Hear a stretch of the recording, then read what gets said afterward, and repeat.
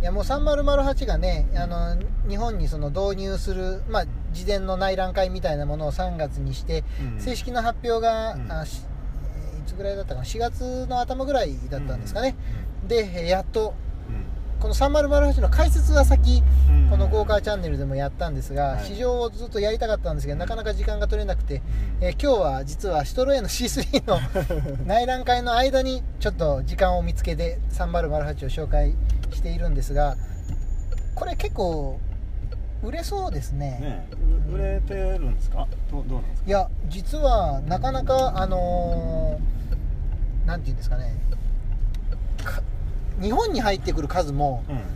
ある程度結構限られてるようで納車が間に合ってないというそういう形みたいです。うんまあもちろんヨーロッパカー・オブ・ザ・イヤーをそれで受賞したっていうことですから、うんえーヨーロッパでも大変うん人気の車だと思いますんでね、うん。でこれのまたディーゼルが、あのー秋ぐらいには日本にもちゃんと入ってきますので、はい。そのディーゼルがまたどんなのかね、うん。えーまたこのゴーカーチャンネルではちゃんとご紹介したいなというふうには思いますけどね。感覚を覚えといてそうそうそうそう。ディーゼルとちょっとそうですね。比較してみたいしですね。したいですね。ねでも実際このガソリンはガソリンで、まあ、今ディーゼルがすごくこうん。うトレンドになってますんで、ええ。なんかもう、え今更ガソリンっていう考えの方もいるとは思うんですけど、ええ。実際これガソリン乗ってみてガソリンもやっぱいいじゃないですか走ってみていいですね。楽しいし。でもちろん経済性に関してはディーゼルの方がその燃費がいいっていう面はあるんですけど果たして年間どれぐらい乗るかっていうところにもあるんですよね、はい。それとあと長距離をどれぐらい乗るか、はい。そこら辺だと思うので意外にこうそれほど長距離は多くないけど、えーこう短距離が多いっていう方は、うん。案外こっちのガソリンの方がいいかもしれない、あこれ左ですね。はい。はい、と思います。価格差もディーゼルの方がやっぱた高いんです高いです、ね。ええ。高いですがそれほど大きな価格差ではなかったと思うあそうなん。ですねにいくらだ？20万ぐらいでしたかね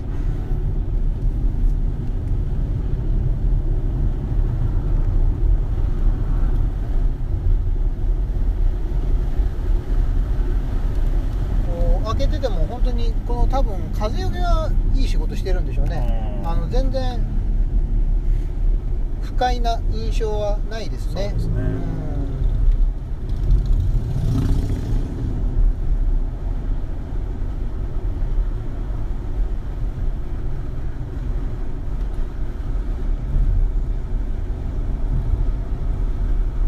でまあこの車はそのカメラがねついているというさっきの自動ブレーキとかその標識を認識したりだとかいう話もしましたけれども、カメラを使わない安全技術ももう一個あって、安全技術と言いましょうか、まあ、快適装備ですかね、はいはいえーアクティブクルーズコントロールという前の車に追従しながら速度を自動調整してくれるクルーズコントロールが、はいえーつくように、えーなりました。で実はまあそれ308でもすでに採用はあったんですけれども、それはエンジンブレーキでしか制御しなかったんですよ。だから急な減速とか完全停止まではしなかったんですね。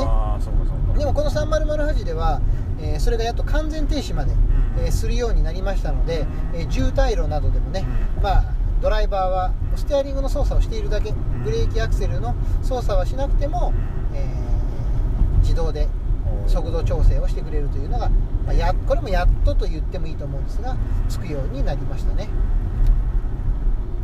いやー昔の車しか知らない人にはええ。ものすごい進歩感はあります 戸狩さんはでもね、あのー新しい車もそこそこ乗る機会があるじゃないですか、まあ市場レベルではねね。ありますけどね。うんあー毎日の足としてはね。ね使ってないから。うんうんうん。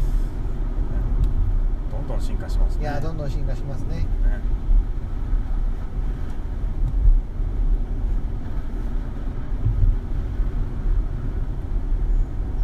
でもその3008っていう車が仙台はうん。セダンとうん。ミニバンと SUV をまあちょっといいとこ取りしたなんていう言い方をねうん。あのメーカーはしてましたけどはい。もう今回は完全に SUV なんです。そうですね。もうそういう 言っちゃ悪いけど中途半端なものではなくて完全に SUV として生まれ変わりましたのでっていうようなことからすると、うん。まあ、これはなかなかのあのやっぱ力の入りようだと思うしね。実際乗ってみても、まあ、まあまさに SUV かな。それもここ最近はまあレンジローバーのイボークとか、うん。えーアウディの、まあ、最近でいうと Q2 ですかね、うん。全体的にスポーティー性を結構強調している SUV が多いじゃないですか、まあ、そういうトレンドにまさにこの3008も習って、うんえー出来上がってるのかなというふうには感じますよね。そうですね。うんなん。か先代の3008、はい。ね、何何回か試乗したんですけど、えもうね記憶に残ってないぐらいあなんかあのなんだろうね。あの荷物がたくさん乗る車だなっていう印象ぐらいしか残ってなかっーたんですけど、うん。これは本当にもうスタイルからはい。もう全てこう変わった感じがしますね、なるほどあのさいや先代の3008はそのユーティリティ性能では相当私うんいい車だったと思ってて上下の分割のテールゲートがあったり、次の信号右ですね、はい。でゴールです、はい。えー上下の分割のテールゲートがあったり、うん。パーテーションがパーテーションというかあの床板がね、うん。3段の高さに変えれたんですよ、とかあとは、えーし後席のシートをリア側から倒せたりだとか、うん。すごくこう、ね、ユーティリティ性能では見るべきポイントがたくさんああったんですがやっぱりね時が過ぎるとうん。だんだんうん。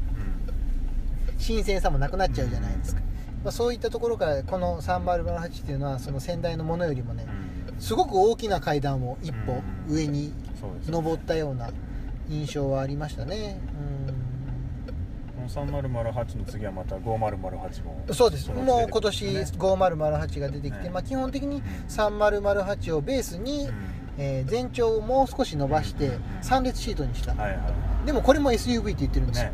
前の5008は完全にミニバンだったのに、はいはい。今度はもう、S、3列シートの SUV って言ってる、はいはいあれもちょっと楽しみです楽しみですね。でもここ最近そのミニバンからどっちかっていうとやっぱ SUV にシフトしてる、うん。ただ日本のマツダなんかももうミニバンからは完全に撤退して、うん。今度 CX8 8でしたっけ？だっえーいうのがね、うん。出るという話うん。でそれはサンデーシートというふうに言ってますが、そういうふうになっていくんですかね。ねっていうのはアウディも97、はい。それからボルボの XC90 もやっぱ SUV の3列シートなんですよね、まあ個人的にもミニバンは乗りたいとは思わんけど、うん。SUV の大きいやつだったら、はい。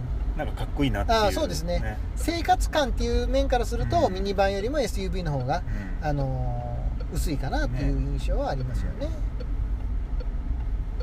これ今アイドリングストップでさっきから再始動したりあのしてますけどどうです？全然感じてなかったですね。話に夢中になってたっていうのもあ多分そうだろうなと思って、ええ。ほとんど気にされてなかったんだろうなと思いますが今ちょっと踏んでまた止まっただけで今またすぐ止まりましたね。ね。結構まめにアイドリングストップしますね。賢いね。これ車によるんですよね。ちょっとした移動ではもうアイドリングストップしないという車も結構ある中で、はいはいこれはあのまめにアイドリングストップをする方ですね。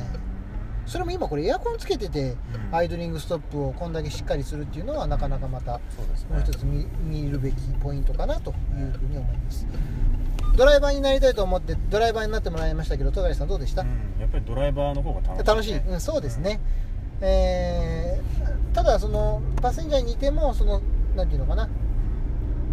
快適性さっきからまあしつこく言ってますけど乗り味が本当私すごくいいと思ってるので、えーパッセンジャー側はパッセンジャー側でき気楽にこう、えー乗ってられるなっていうところもいいポイントだな。と安心感がありますよね。そうそうそう安心感もありましたね。なんかこうすごくバスタブに使ったようなそうですね。感じのはい。そうでした。えー、じゃあ戸狩さんありがとうございました、はい。はいまた。たあのゴーカーチャンネル、うんはい。たまに登場してください。はい遊びに遊びに来ます。はい。ありがとうございました